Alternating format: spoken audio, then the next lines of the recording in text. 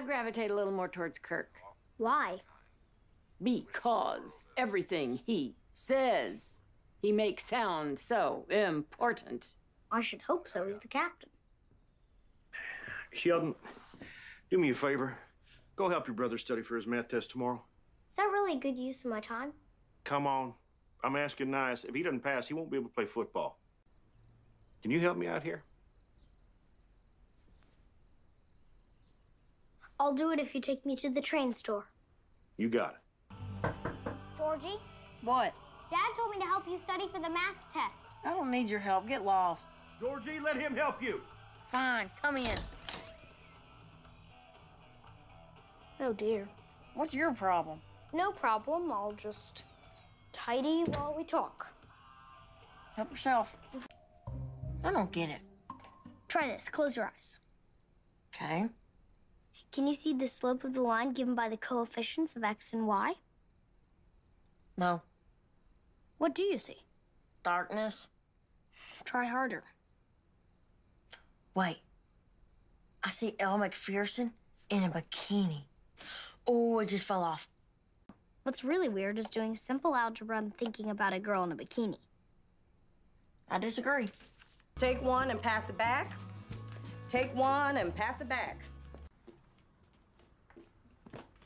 Seeing my brother struggle was difficult for me.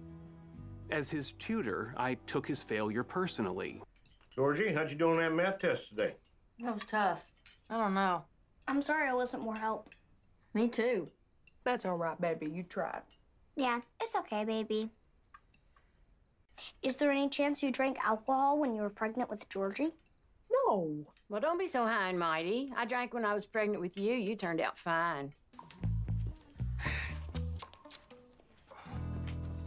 Not me, but not bad. I would say A for effort, but that's enough. What? How bad is it? You got a B. Are you kidding? I don't believe it. Me neither. Me neither.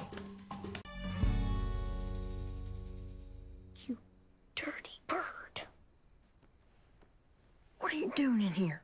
You cheated. No, I didn't. I'm holding the evidence. Let me see that. I don't see nothing. That's obstruction of justice, as well as disgusting. Is that your new train? Yes, it's my reward for helping Georgie pass the math test. You don't seem too happy about it. I don't feel like I earned it. Why not? Can you keep a secret? Well, at my age, the question is can I remember one? Try me. Georgie cheated on the test. I don't think you should let it bother you very much. I mean, there's always going to be people in this world who are playing fast and loose with the rules. And your brother's one of them. It occurs to me you have something in common with Captain Kirk. We both have cool hair. In order to succeed, you both play fast and loose with the rules. Yeah, I suppose we do. I started taking books out of the library without getting the card stamped. You didn't check out those books. I know. Before you judge me too harshly, I always brought them back on time. Now, I was a rule breaker, not a lunatic.